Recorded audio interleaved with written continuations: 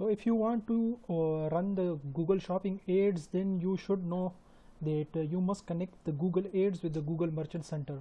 So in this video I will show you that how you can connect Google Merchant Center with the Google ads. So there are two ways that you can do this.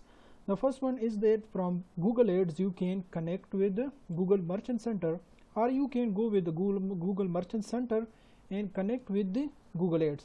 So I will follow the first method and from the Google ads admin panel I will connect with Google Merchant Center.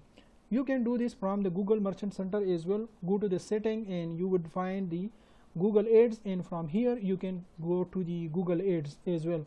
So to connect from the Google Ads you have to go to the tools that is from the left side navigation and uh, click on data manager. So if you click on the data manager you would see the all resources from with which you can connect the Google Ads with like uh, you can see Google Analytics, YouTube and uh, other platform.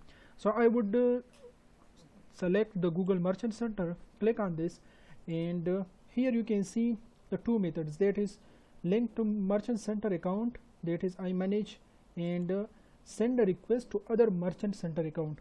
So here you can see you can uh, here paste the Merchant Center account ID this is the ID of your merchant account. Copy this and paste it on here. So when you paste it click on the next and uh, here you can see and click on submit. So if you click on submit you would see here on the merchant center the approval request.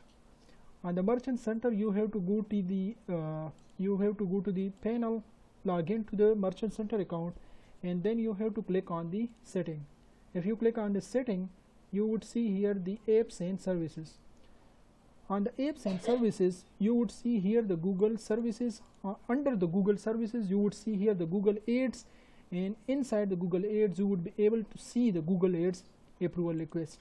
So that may be after some time and uh, it may take some of the time. So once it's done the Google will send you here the request and after approval of this request then the Google Ads and the Google Merchant Center would be connected